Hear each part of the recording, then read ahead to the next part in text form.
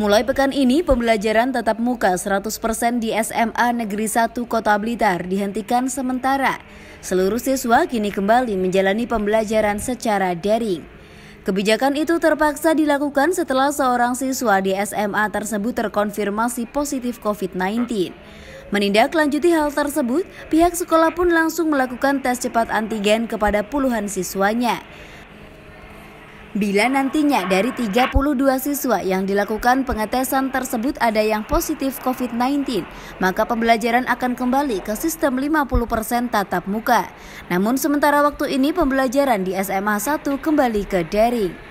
Uh, positif ditemukan hari Jumat, hari Jumat karena klaster keluarga dan sekolah akhirnya mengambil tindakan satu kelas yang uh, uh, yang terpapar itu kita antigen semuanya. Untuk sementara uh, kegiatan KBM di SMA 1 uh, kami kami darikan sampai menunggu hasil dari antigen ini.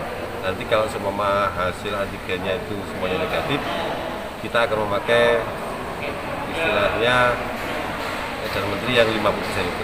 Klaster sekolah di Kota Blitar sendiri belakangan ini menunjukkan tren peningkatan.